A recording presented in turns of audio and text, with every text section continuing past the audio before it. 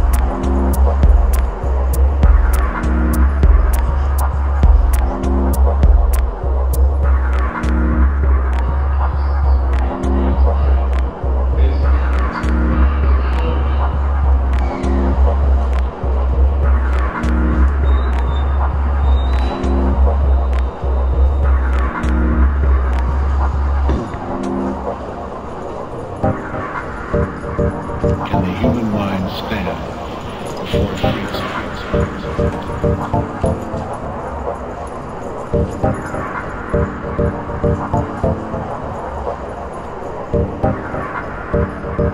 meets